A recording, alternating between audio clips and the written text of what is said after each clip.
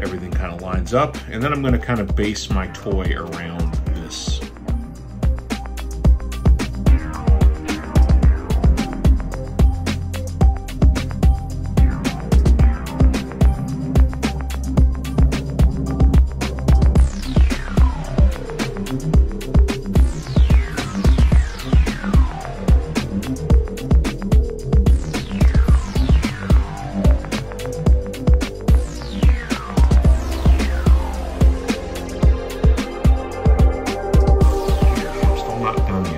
I've got some more details I need to put in the eyes, a surfboard.